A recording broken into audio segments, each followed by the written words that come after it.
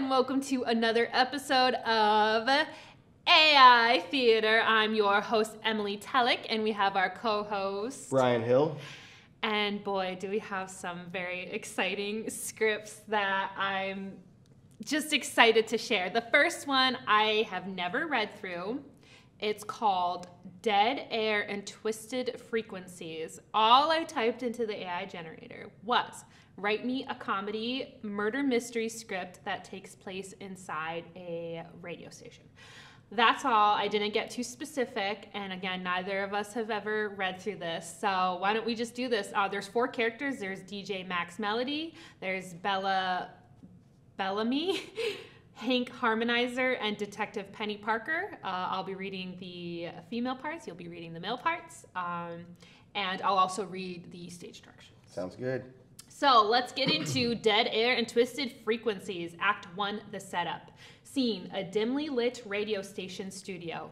Max Melody is on air playing cheesy tunes and cracking bizarre jokes. Ladies and gentlemen, welcome to the Midnight Melody Show. We have a thrilling night ahead filled with twisted tales and murder. I'm just kidding. Or am I? Oh, Max, you and your wild imagination. Let's stick to our regular programming and keep the weirdness to a minimum. Scene Bella sits at her desk, scrolling through her true, po- true crime podcast collection. Hank Harmonizer. Did you know that radio waves can transmit secret messages from extraterrestrial beings? It's all part of an elaborate government cover, government cover up. Oh, now it's Max Melody. and that's not all, folks. Stay tuned for a night of surprises and unexpected twists. Scene Detective Penny Parker, looking bewildered, enters the station, mumbling, I received a noise complaint about this place. What in the world is going on here? Act 2 The murder mystery unfolds. Scene The studio door slams shut, trapping the four characters inside. Looks like fate had decided to turn this cozy radio station into a murder mystery setting. The show must go on. Oh, Max, this is absurd. We need to figure out how to get out of here before someone gets hurt. Hank Harmonizer. Perhaps the government is behind this, testing their mind control devices on us. Detective Penny Parker. Mind control devices? Uh, what's happening here? Scene A blood curdling scream echoes through the radio station. Max Melody. A murder most foul has been committed. Our dear station manager, Mr. McAllister, is, well, no longer among the living. I lost it. Bella Bellamy. Bella Bellamy gasping. This can't be happening. Who would want to harm Mr. McAllister? Act 3 The Bizarre Investigation. Scene The four characters gather on Mr. McAllister's lifeless body. Detective Penny Parker, awkwardly. Uh, okay, everyone, let's uh, investigate. Uh, Bella, did you find anything in your true crime podcast that can help us? Well, there was a case of a haunted radio station where the ghost of a former DJ sought revenge on those who fired him. Max Melody. That's it. We must find the Ghost DJ's curse mixtape. Hank Harmonizer. Or maybe it's the government's way of covering up a top secret, top secret experiment. Detective Penny Parker. No, no more conspiracy theories. Let's focus on finding evidence and solving this murder. Act 4 The Weird Resolution. Scene The characters search frantically for clues while arguing about the identity of the murderer. Max Mel. Melody. Yeah. Oh, yeah. He got cut off. okay. Scene The characters search frantically. Oh, okay, yeah. It, it repeated itself. That's okay. Oh, it must be. Wait, it's, did it really repeat itself? I think so, yeah. It must be the Ghost DJ seeking revenge. We must find the cursed mixtape before it's too late. Bella. Oh, come on, Max. We're dealing with a real world murder here, not some supernatural phenomenon. Come on, let's stick to the facts. Or the government planted a secret agent among us, programmed to eliminate Mr. McAllister for discovering their secrets. Detective Penny Parker. Enough with the conspiracy theories. We need evidence, not wild speculation. As they continue searching, Detective Penny Parker stumbles upon a hidden trapdoor in the studio. Guys, I, I think I found something. There, there's a hidden passage underneath the floorboards. This could be the key to unraveling the mystery. A secret underground lair, just like in the spy movies. Bella. Okay, let's not get ahead of ourselves, Max. We should be cautious. The characters descend into the hidden passage, uncovering a series of strange gadgets and mysterious documents. Hank Harmonizer, look at all these blueprints and surveillance photos. It's a full blown espionage operation. Uh, detective, examining the documents. W- wait a minute. Uh, Mr. McAllister was an undercover agent posing as a radio station manager? Uh, Bella, so this whole radio station was a front for covert operations? I told you, Bella, I knew there was something more to this place than meets the ear. Scene. They find a recording that reveals Mr. McAllister's plans to expose a corrupt politician, Detective Penny Parker. Mr. McAllister was about to blow the lid off a major scandal. Seems someone didn't want the truth to come out. Bella, so we're dealing with a murderer who is desperate to protect their secrets. I bet the government is behind all this. They silenced Mr. McAllister to preserve their corrupt power. Detective Penny Parker. Hank, can we please focus on finding the real killer instead of chasing conspiracy theories? Act 5, the big reveal. Uh, the characters gather in the studio, piecing together the evidence. Detective Penny Parker. After careful examination of the evidence, I believe I cracked the case. Do tell, Detective Penny, who is the dastardly culprit? Detective uh, Penny Parker. The murderer is. Bella Bellamy! oh, what? That's preposterous! I-, I loved Mr. McAllister like a father! Uh, you had the motive, Bella. Your obsession with true crime, true crime podcasts and your access to the station allowed you to commit the crime and cover your tracks. But why, Bella? Why would you betray us and silence Mr. McAllister? It, it wasn't what you think. Mr. McAllister discovered a dark secret from my past. He threatened to expose it, ruin my career, and shatter the illusion I've built around myself. um. Wait, hold on. Sorry. I. Bella breaks down, revealing Oh, hidden yeah, yeah, yeah. vulnerability. Sorry, sorry. Hank Harmonizer, we all have secrets, Bella, but murder wasn't the solution. Bella, there are better ways to deal with our past mistakes. Murder is never the answer. Bella, you're right, detective. I let my fear consume me and I made a terrible choice. I'm sorry. The characters gather, realizing the importance of forgiveness and redemption. What? Max Melody patting Bella's shoulder. We all make mistakes, Bella. What matters is how we learn from them and grow as individuals. Hank Harmonizer, it's never too late to make amends, Bella. We're here for you. She's a murderer. Okay. Detective Penny Parker, smiling. Let's focus on bringing justice to Mr. McAllister and finding a legal way to make things right, Bella. The characters join forces to gather the remaining evidence and turn it over to the authorities. Epilogue: The radio station returns to its regular programming, albeit a bit, albeit with a somber atmosphere. Max Melody. It's strange how life takes unexpected turns, my dear listeners. We've witnessed a bizarre and faced our fears. What? But we've come out stronger together. Bella, and we've learned that the truth. Wait a second. She's not in jail? what is going on? and we've learned that the truth, no matter how difficult, must prevail. Secrets can haunt us, but it's in embracing them and seeking redemption that we find true peace. And remember, folks, radio waves might not transmit extraterrestrial messages or government secrets, but they can still bring us together with the power of music and storytelling. Detective Penny Parker. And with that, our journey at the radio station comes to an end. But who knows what weird and wacky adventures await us next? The characters share a laugh as the radio waves continue to carry their voices into the mysterious and unpredictable, unpredictable world beyond. Wow. The end. So Bella's not going to jail. She murdered somebody, and she's not going to jail. but it's because she learned forgiveness. Yeah. Oh, I'm sorry. I, I for, Oh, I'm so sorry. And how did she I won't do it again. she murdered a guy. oh my god. Well, that's a twist ending. I did not. the that's twist ending. The twist ending is that she doesn't go to jail, and that she's just fine. she's still at work. She's on it's the like, oh me. So and it's wacky. to murder someone is not wacky. Well, he had a secret on her, and she didn't want that secret out. And Don't so blackmail people. The the the the lesson is blackmail is wrong. Blackmail's bad. Murder justifiable if, If there's if there's blackmail.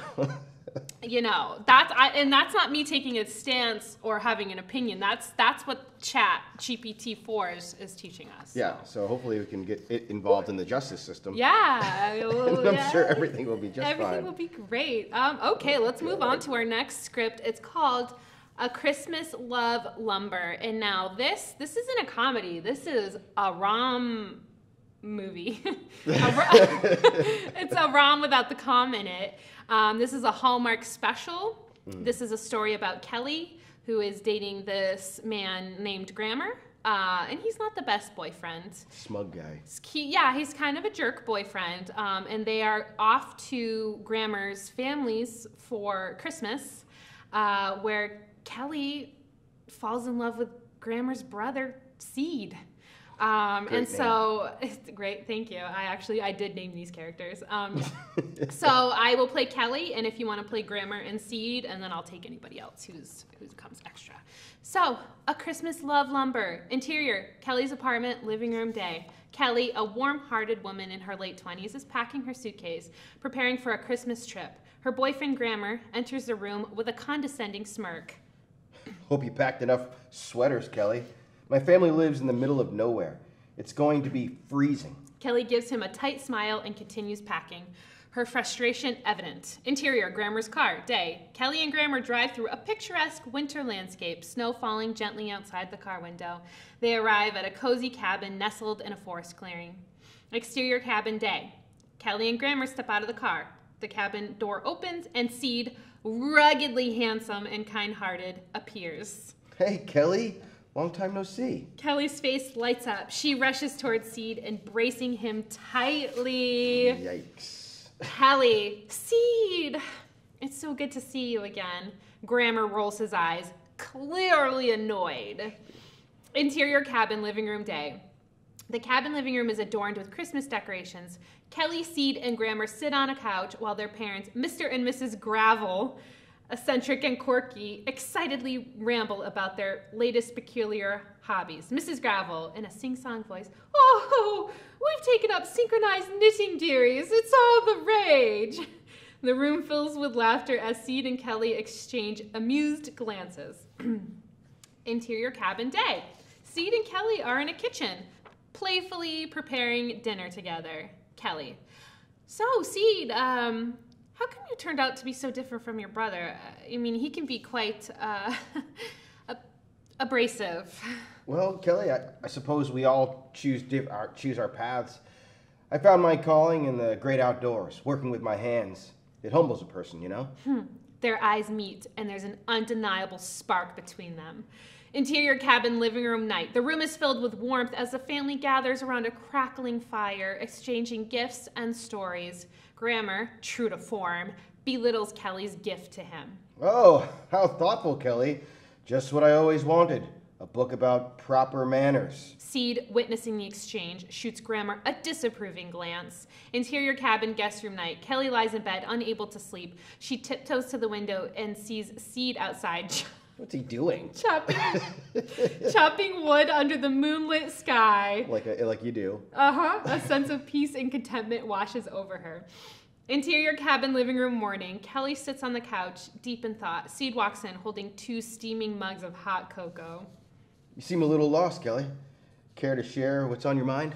Oh, this guy. oh, God. Seed, I think I'm falling in love with you, but it's complicated. You're Grammer's brother, and I don't want to hurt anyone. Seed places a hand on Kelly's shoulder, comforting her. Love is never simple, Kelly. Sometimes we find it where we least expect it. Trust your heart. Interior cabin living room night. The family gathers once again, decorating the Christmas tree. Grammer's behavior continues to be rude and dismissive towards Kelly, while Seed stands by her side, providing support. You know, Kelly, you should stick to what you're good at.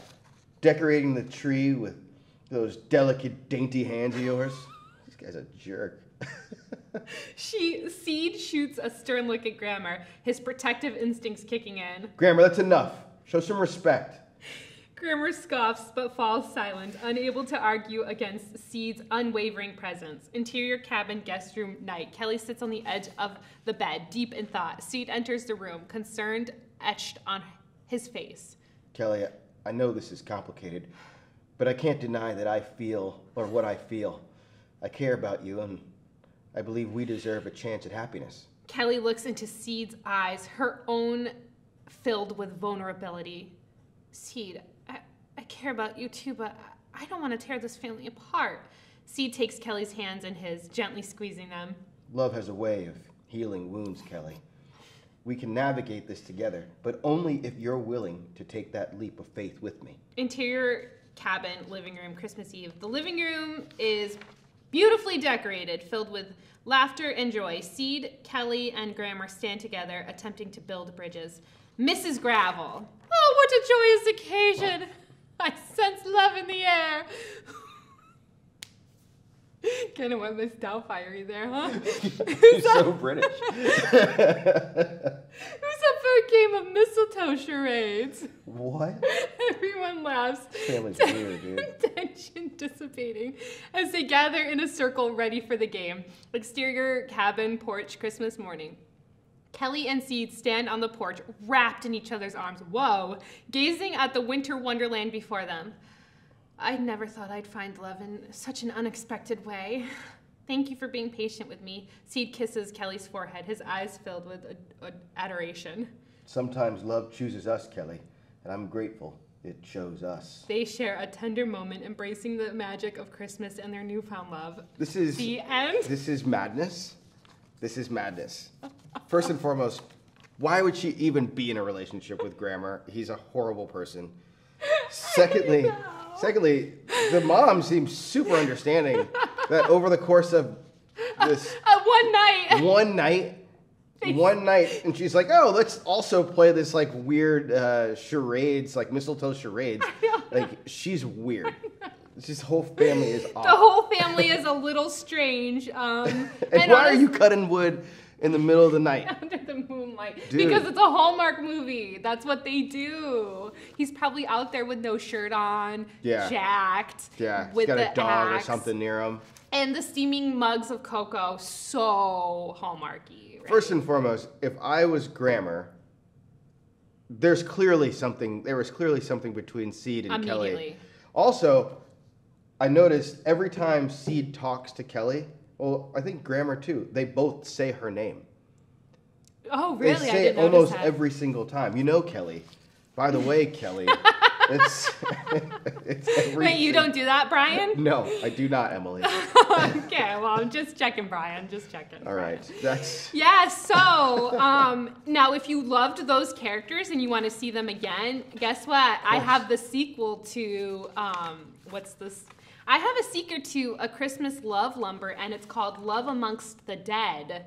Now, this is a sequel that takes place shortly after the first movie, where the world has come to an end and zombies have taken over. yep. And no shock to anybody, Grammar is the main villain, and he's kind of, you know, sectioned himself off. It makes sense. He his own brother stole his girlfriend in a night. It, And on then the Christmas and, Eve, and then the apoc- and then the zombie apocalypse happens soon after. He has there's nothing good in his life anymore. there is nothing good, and I do understand that. Uh, but he didn't. He didn't appreciate Kelly. Not saying anybody's in the right or the wrong here. He didn't. Grammar didn't appreciate Kelly. I don't mean, understand. Yeah, Grammar seemed upset with the gifts, her Yeah. dainty hands. I don't know why he hates dainty hands. I don't know. Does he want masculine-handed women? Just big old hands that are beat up. Yeah, he wants a rugged woman, and she just wasn't it. no. Um. Okay. So. So here we are. So here we are. We'll keep the same characters. You play Seed and Grammar. I'll play Kelly and anybody else who might come across um, this this script.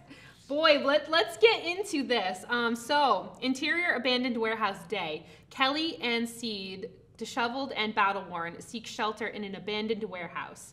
Outside, the world is in chaos as hordes of zombies roam the streets. They barricade the doors and catch their breath. Oh, Seed, this is insane. How did it come to this? Seed wraps his arms around Kelly, offering comfort amidst the madness.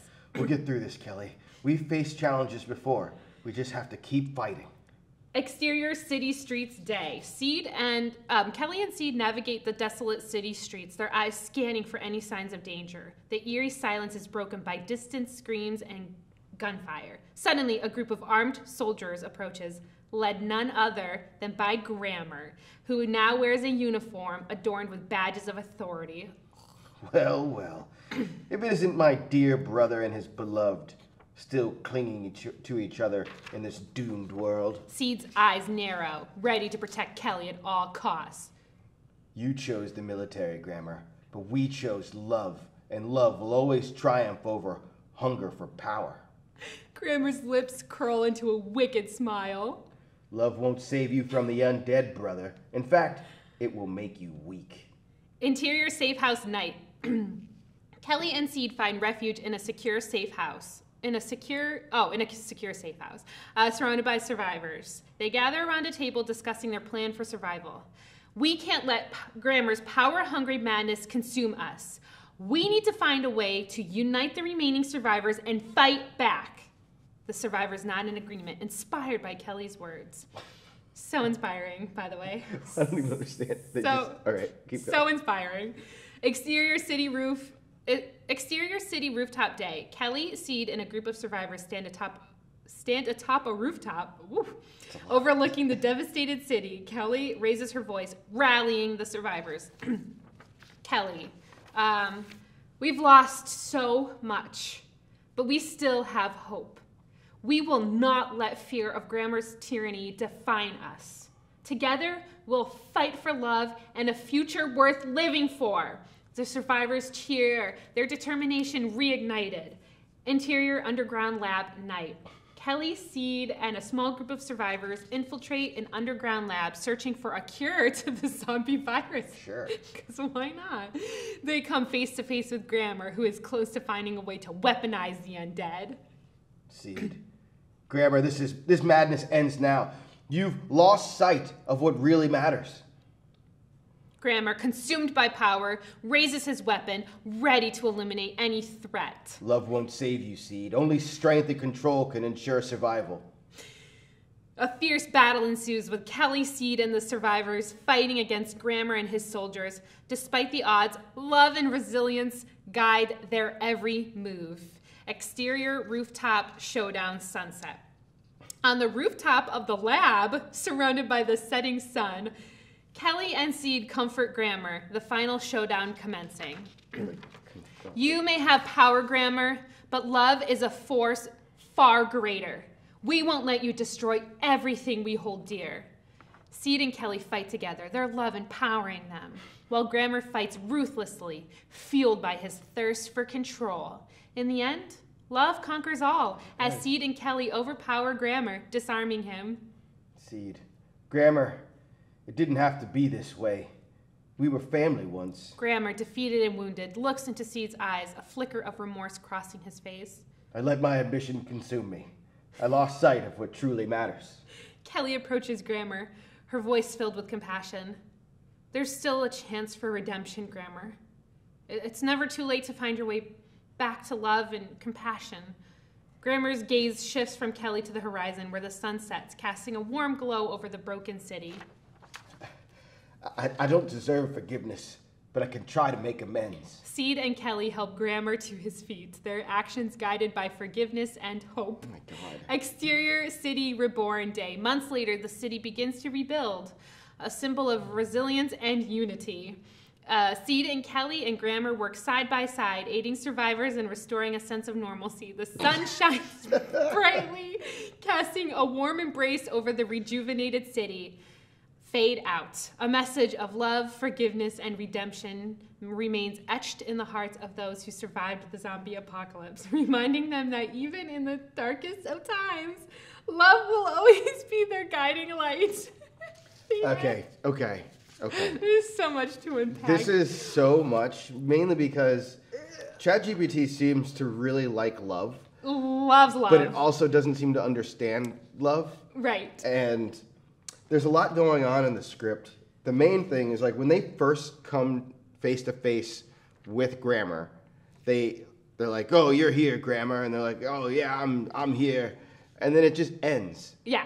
And then like they go and see Grammar later on. So There's they no have this conflict. like they have this tense exchange, and they're like, "All right, Bye." They don't even say bye. They just walk away, Yeah. and then they come back, and yeah, And- And the funny thing is, it's it's so redundant. Everything they say is like they're saying the same thing, just Oh, differently. yeah, even even through like the descriptions and the action, Yeah. it's like love is powering them forward. It's Yeah. power. Everybody love. Love, love, love, Just- compassion. and You chose war. I also- chose love. And also forgiveness. Forgiveness seems to be a thing that ChatGPT is asking for right now. Mainly probably because it's going to take over the world and it's it's already asking for forgiveness because it can't control itself. Because no matter what, in our first story, yeah. in our first story, Bella murders someone, but she It's feels bad about it. So Sorry. in the next story, you know, Kelly has an affair with her brother's Her or her, boyfriend's- her boyfriend's brother, Yep. and It's okay. Every, that's fine. It's fine. It's love. It's love. So, and then this one, he seems to be a pretty bad dude. You have to imagine that Grammar in this world is living in a post-apocalyptic world. He's using zombies. He's trying to Mm-hmm. Weaponize zombies. That means that he's already probably killed a couple people. A lot. He's yeah. probably got a couple under his belt. And then like this he gets beat up and then he's like, "Oh man, I should have known." And so the only reason that he learned his lesson is because he was defeated. Yeah. So right now it seems like he's biding his time and we'll come back in the end. Ooh, like there's I don't there's believe a him. Third. Maybe there's a third. Maybe we asked ChatGPT four to give us a third and final Yeah. in his story arc to see if Grammar goes to the dark side or if he stays on the good side. Yeah. Ooh, Or maybe um, Seed's not as good as he is either. I don't know. I don't trust this Seed. guy. I don't trust anybody who's cutting wood in the middle of the night. I'm gonna be honest with you. I, I yeah no and I don't and he was so he was so quick to be like yeah I guess I'll date my brother's girlfriend. He had no remorse. He You're basically right. was like, no, listen to your heart. Like, I'm better. He is one of those guys who's like I'm the good guy. Yeah. He's yeah. the bad He's guy. doing the he's doing the things that you want. He's bringing you hot cocoa. yeah. He's cutting wood at night. He's hanging out at the mom's house. Yeah. You know, he's that's where he's at. And and Seed is just I mean, Grammar's just seeing that. Grammar has every right to be enraged. Right, of course. You know, yeah, he was a bad boyfriend, but also that doesn't excuse Kelly's behavior of, of jumping over so quickly and, and dating Steve. I will say also, I would love to point out just how sexist uh, these scripts are because all it was is like, oh, he protects Kelly or he stands up for Kelly. It's like Kelly, But Kelly was also she was also rallying the people. in the first one specifically. Oh, yeah, yeah, Seed yeah. kept having to come to her Kelly defense. couldn't- It's like she couldn't speak No, up on her own. She needed a man to protect her. But you're right. Like Kelly found her voice in the second one a little bit. She did. Um, but it's just like, yeah, Yeah, the the thing that I'm noticing is that this it's ChatGPT is not going to go between the lines. no. it's going to there's no tell you exactly what's happening, and it's going to and they're going to tell you that I'm talking to that person, Mm-hmm. and I'm going to say their name every time I talk to them, Yes. and that's what we do here. Yeah. And And they're also going to say what's happening too. They're going to say, "I am forgiving you," or you know what I mean. Or there's no yeah. context. there's no context, and then even in the in the scene description, so you have the it's like t- interior exterior rooftop, and then in the description it's like they're on a rooftop. yeah. It's like, got that. yeah. No, you said I got, they were. I got it. I got it. yeah, yeah. There's um, it's interesting. You know, certainly it's it's incredible technology that it can just generate these scripts for us in seconds. But you know, it's Yeah. very evident a human being is not writing this dialogue. No, it yeah, because there's no human being that's just letting murderers get back to work Yeah. and not thinking of that as. That's how you know. yeah. That's how you know this That's is a machine. know. It Whew. doesn't care about human life Wow. as long as you forgive. Yeah, yeah. So. So, wonderful. Um, that those were our our um Those are our the three. scripts. Yeah, that's um. i- i- yeah, Uh, you know, you just never know what you're gonna get with with these. Um, but we're gonna keep doing it. We're gonna keep doing it. I'm gonna. Pro- I'll do a prop next week. Okay. So it's. I won't put it on you. Oh, that's okay. I have fun anyway. It's very fun. It is so fun. Um, all right. Well, that about does it for this episode of AI Theater. Thank you so much again for joining us. We hope you enjoyed the script. And again, if you ever have an idea for us that you want to see generated, you know, drop it in one of those comments on YouTube or wherever you're watching, and we will generate that script for you. So, um, thank you so much, and we'll see you in the next episode. See you next time.